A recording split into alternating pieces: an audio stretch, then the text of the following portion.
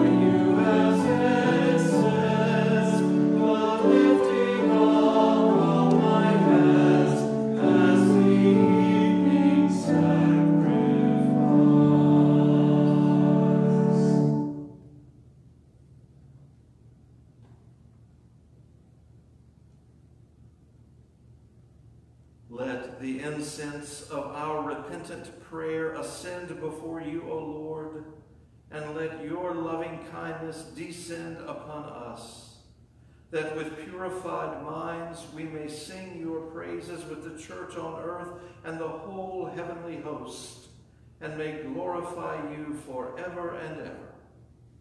Amen.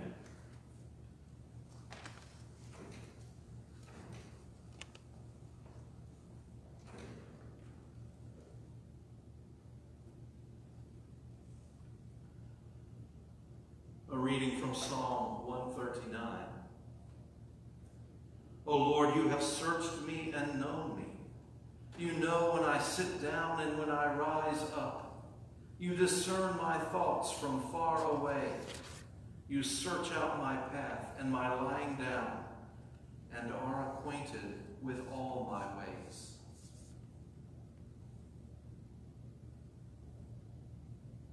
In his book on prayer, Philip Yancey writes, Sometimes I wonder if the words I use are the least important part of prayer. I think Yancey means that sometimes our best prayers are merely the yearnings and sighs of a broken heart. Sometimes our best prayers are just reviewing our day. And sometimes our best prayers are spent basking in God's presence. And all this points to a great truth. Prayer is simple.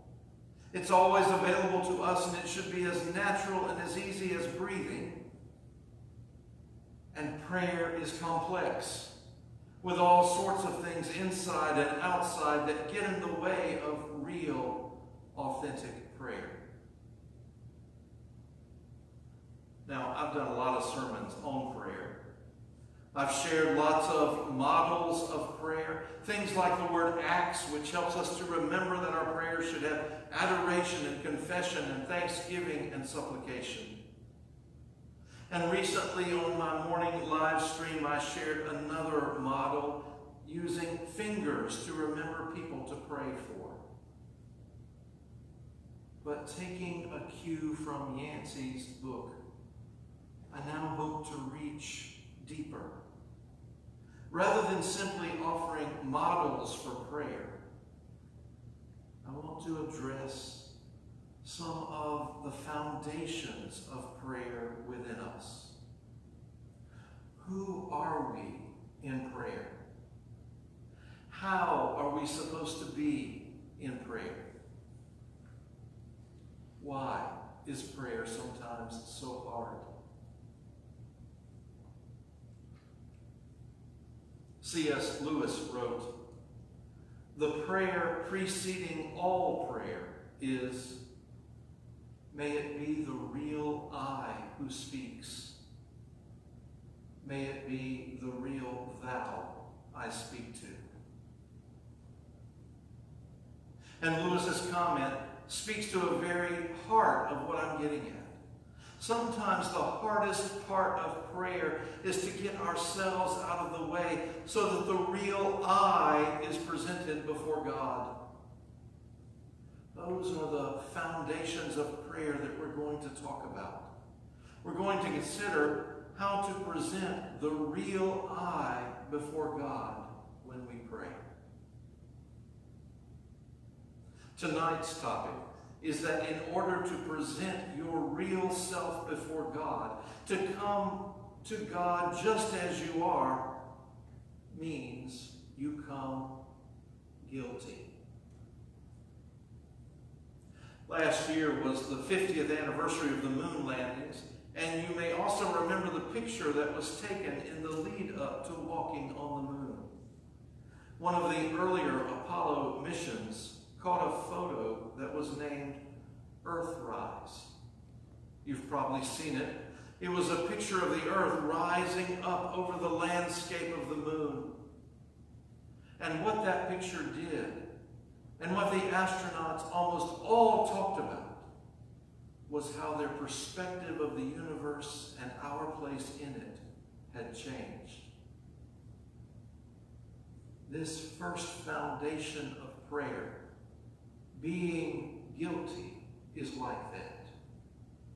Yes, confession is part of prayer, but I'm not talking about cobbling together some list of things that you've done wrong or to cause shame or to make you feel miserable. No. It means to recognize the true state of things. That God is God, we can't ignore the reality that we don't measure up to who we are supposed to be.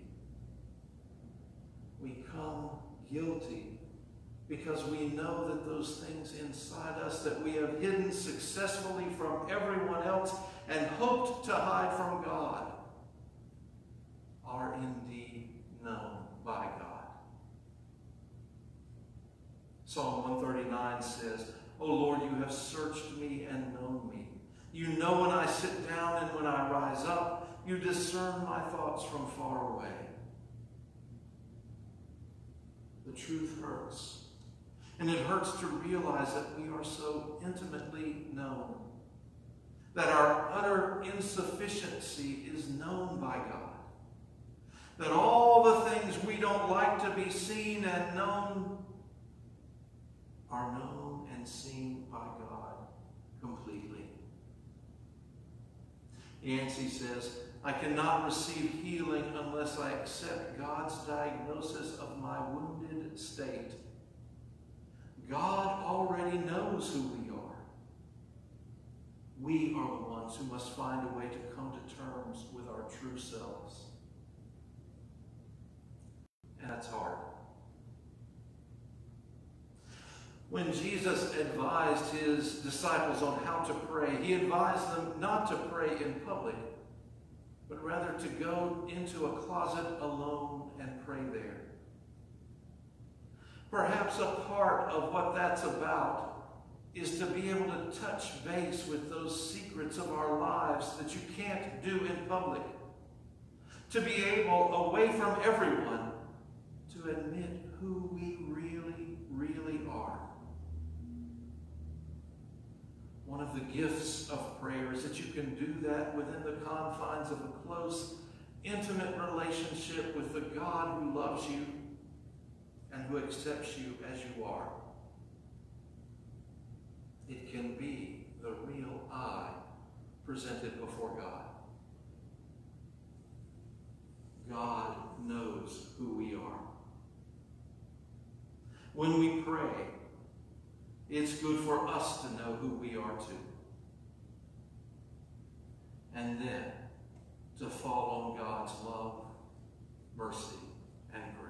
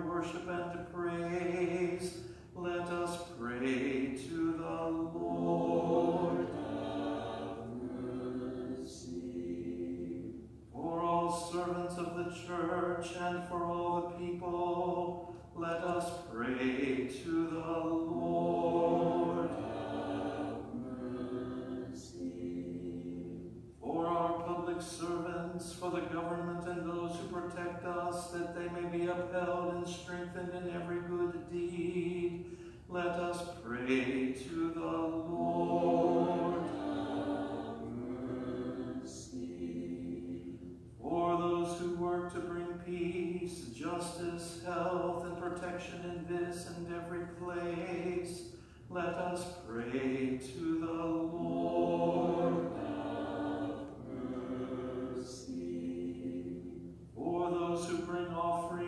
Those who do good works in this congregation, those who toil, those who sing, and all the people here present who await from the Lord great and abundant mercy, let us pray to the Lord.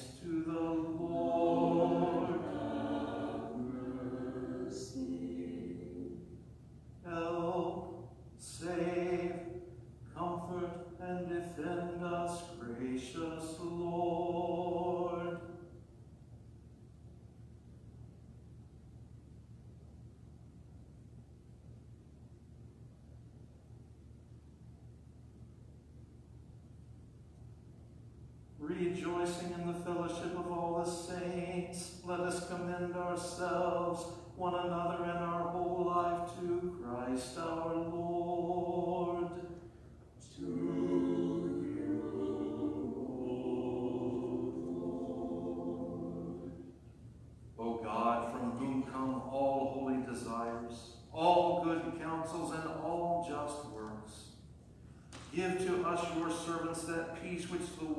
Cannot give, that our hearts may be set to obey your commandments, and also that we, being defended from the fear of our enemies, may live in peace and quietness. Through the merits of Jesus Christ, our Savior, who lives and reigns with you in the Holy Spirit, God forever. Amen. Lord, remember us in your kingdom and teach us to pray. Our Father, who art in heaven, hallowed be thy name. Thy kingdom come, thy will be done, on earth as it is in heaven. Give us this day our daily bread, and forgive us our trespasses, as we forgive those who trespass against us. And lead us not into temptation, but deliver us from evil. For thine is the kingdom, and the power, and the glory, forever and ever. Amen. Lord God, you have called your servants to ventures of which we cannot see the ending, by paths as yet untrodden, through perils unknown.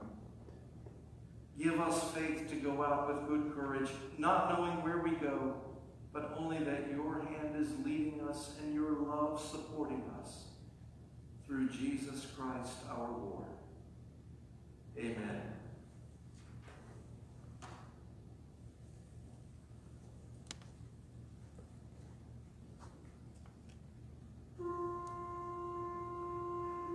The Almighty and merciful Lord, the Father, the Son, and the Holy Spirit, bless and preserve